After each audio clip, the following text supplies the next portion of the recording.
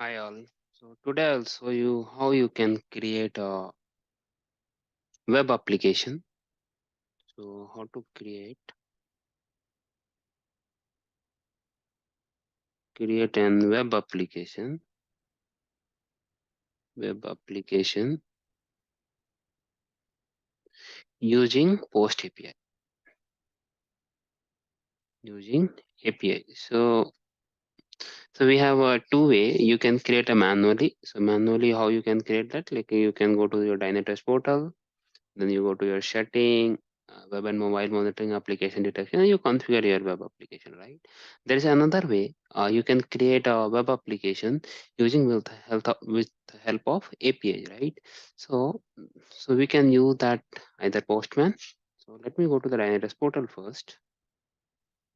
So this is our portal right